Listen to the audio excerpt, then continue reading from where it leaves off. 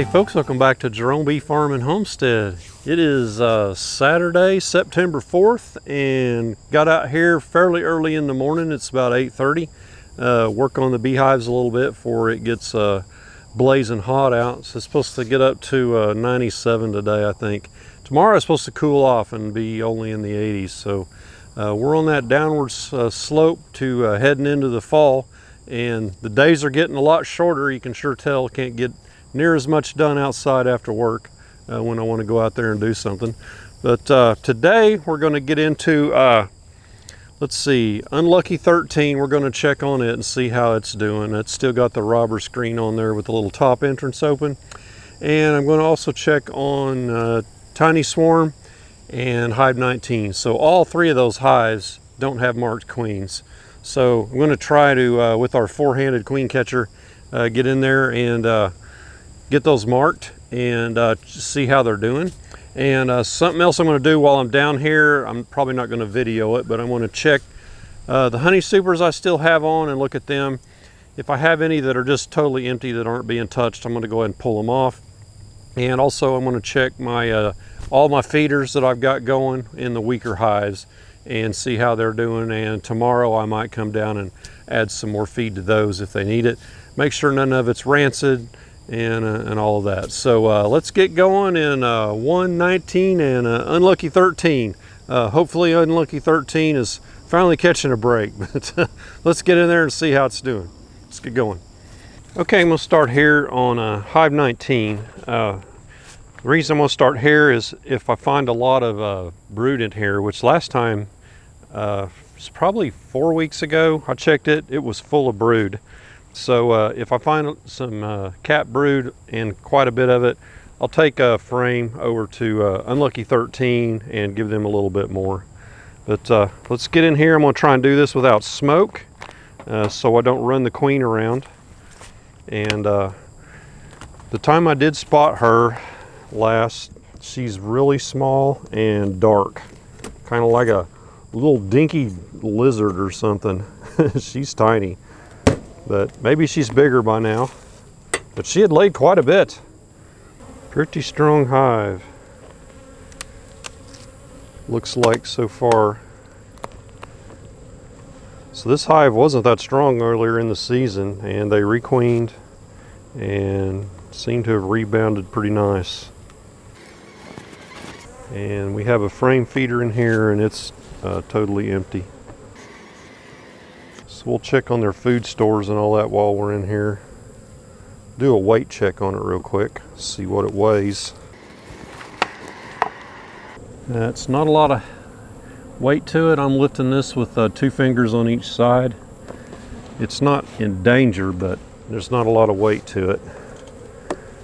So these bees didn't have a lot of time to forage uh, during the flow like all the other bees did. Everything these bees have collected have been throughout the summer and what I've given them here with the uh, frame feeder. So this frame here is uh, mostly pollen. So we may have brood right on our next frame coming up.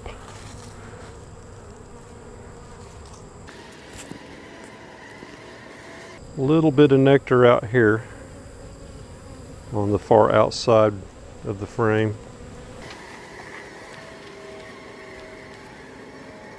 So yeah, we're going to need to feed these. Uh, it's been really dry the last week. We haven't had any rain for a while and uh, the fall flow is, I thought it had started but I'm not so sure now that it has. So here's honey on uh, your right side and cap brood on your left. And this whole frame is brood. So if I find that queen, I'll grab a frame of brood uh, if I find enough in here, but it appears that we will. So I just want to be sure I don't grab a frame of brood and not spot that queen on it accidentally move her. Don't want to do that. Then I'd have unlucky 13 and unlucky 19.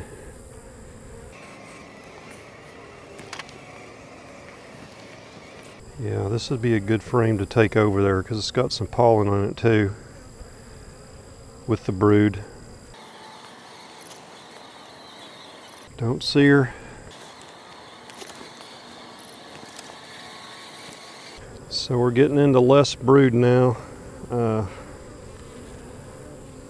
capped brood. A little bit of nectar on this side.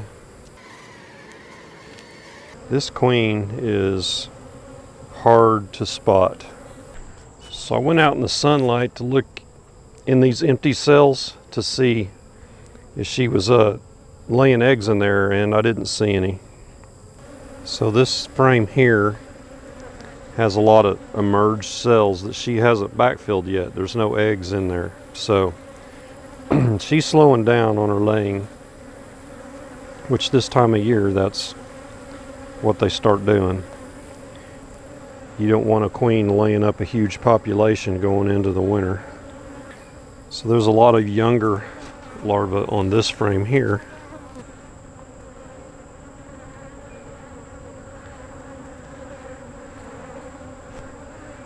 There's a bunch of uncapped right there. So she has laid some on this frame. And I've got a bee crawling up my leg.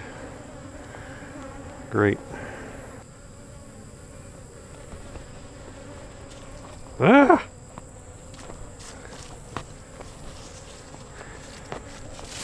That bee's getting a little high. I assume it's a bee. This would go a lot faster if I could use a little smoke. But try not to smoke them because I want to. I don't want to run that queen away.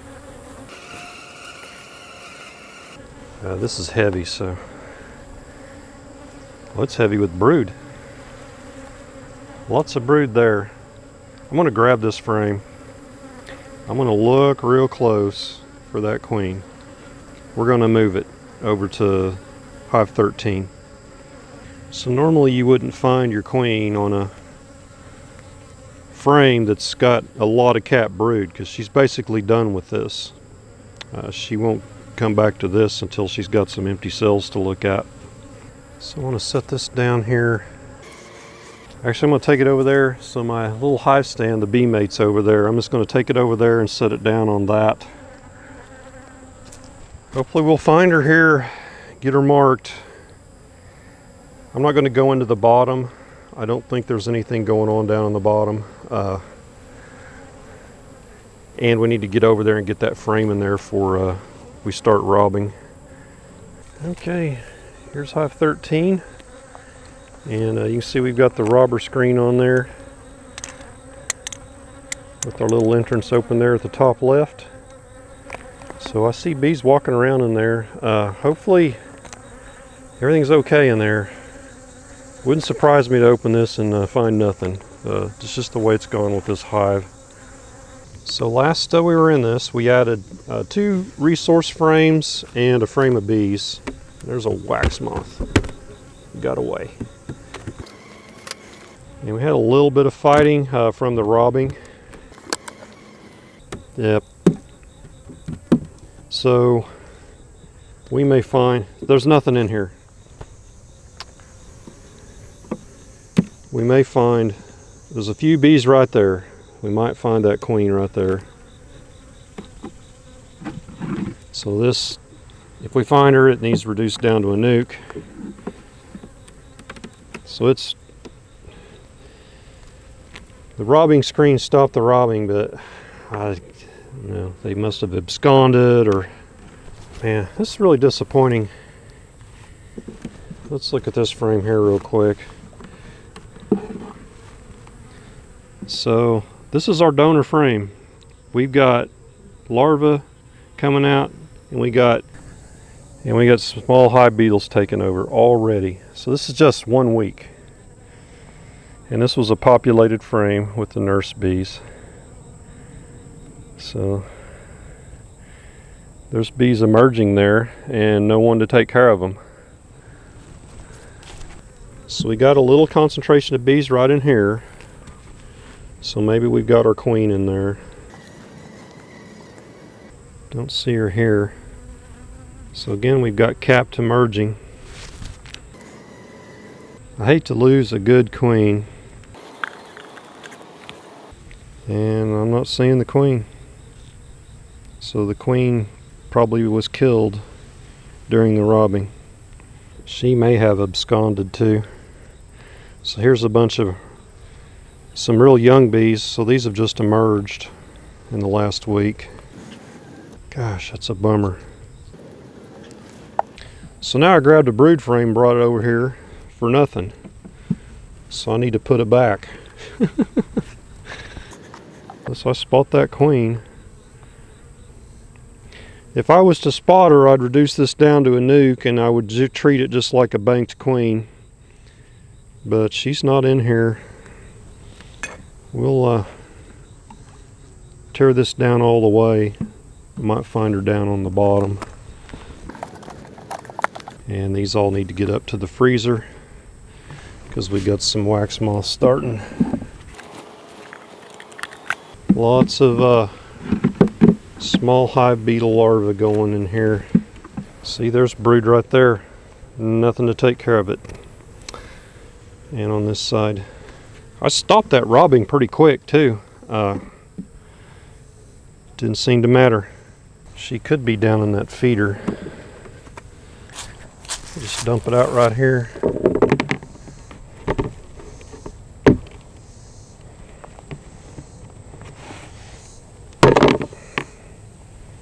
And there goes a wax moth. Sorry, suckers. Yeah, no queens.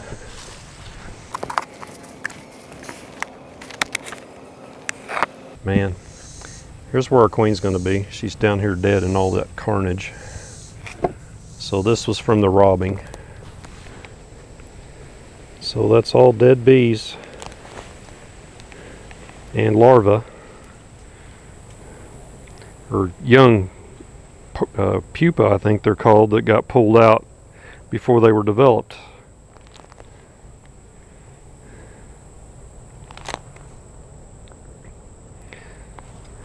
So this had to happen in like probably an hour's time. And that's just crawling with uh, small hive beetle larvae.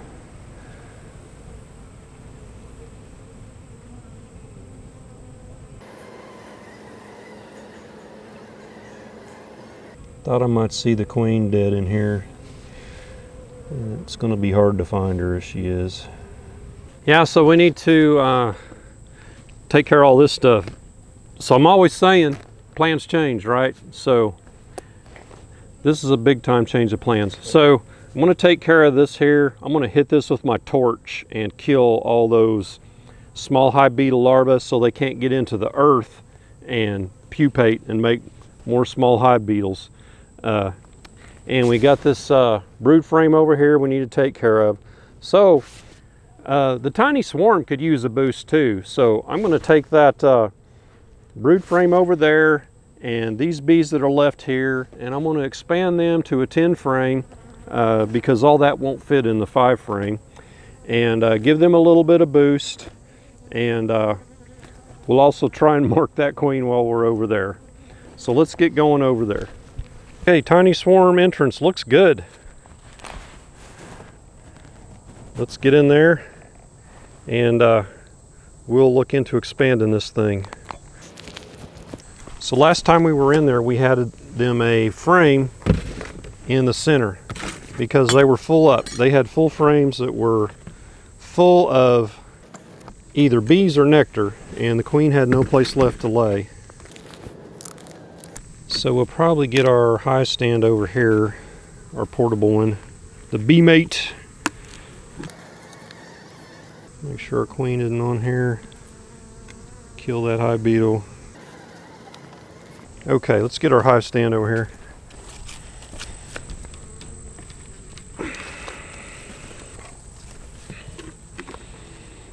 So we're not going to put 10 frames in this. Uh, we'll have five plus at least one.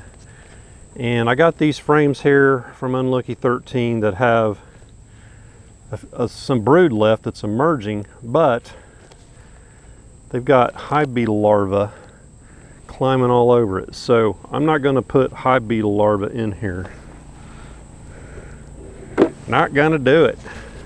So this is a good frame we can use. There's no hive beetle larvae crawling on it. I do see one wax moth started right there and I just killed it. So we'll use this one. And this one's a no. It's got stuff on it too that we don't want in there. Okay. Make sure that uh, queen's not walking around on the walls here. So let's get this uh, moved back out of our way and we'll get set up with our 10 frame here.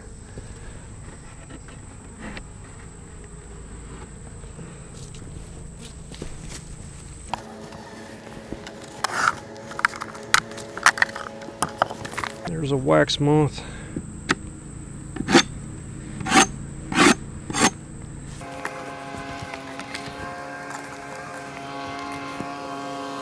So here's our brood frame donor. So we'll work around this.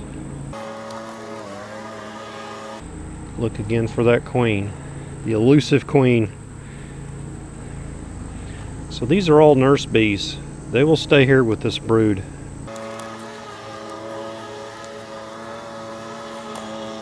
All right, and we'll put our frame feeder in here.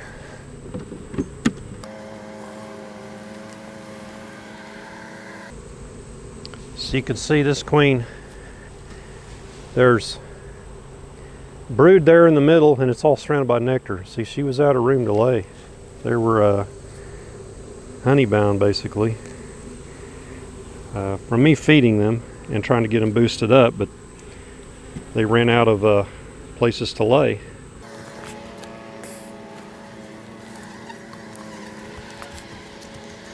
So there's our queen. And I'm not going to mark her. She's going to have enough trauma today.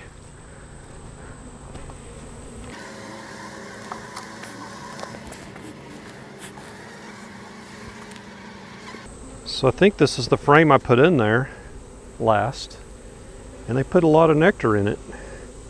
And uh, I haven't fed them so I don't know where that came from maybe they moved it around in the hive maybe they forged it but I didn't think we had any forage going on. And a hive that small for them to bring all that in. So we'll put our donor frame right here. I didn't want to put that donor frame right against that queen.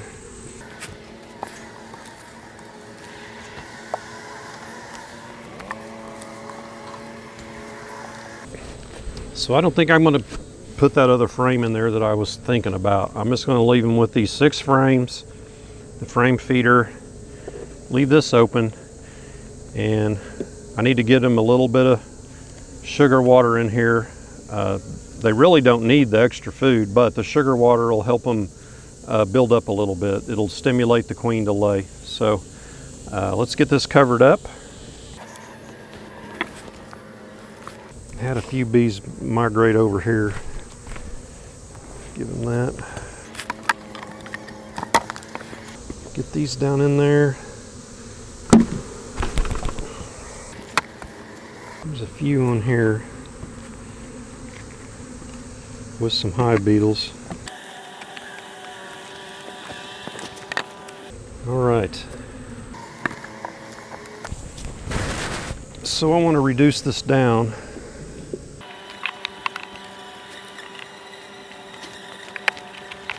This is the uh, patented Jerome Bee Farm entrance reduction system. Link below.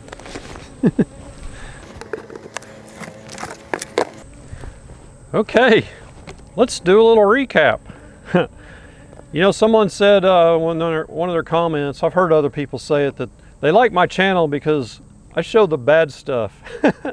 so, the, the downside of beekeeping, some people, they all show everything goes good. Well, I show everything, including the bad. So, this was uh, for you people that like to see the real life and the bad stuff, you got a full dose of it today because we planned on coming down here, marking three queens with uh, 2021 white, and uh, everything ducky and we post the video and uh, move on. But none of that happened.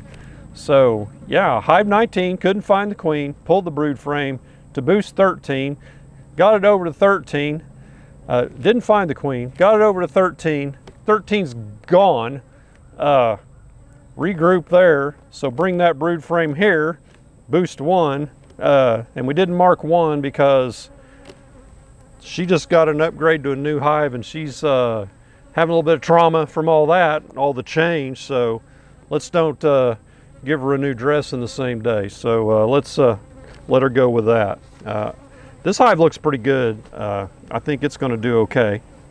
Uh, I said the same thing about 13 probably 20 times, and it it was a failure all year long. So that was a Wildflower Meadows queen too, and that's why I really wanted to find that queen because I know she's got good genetics.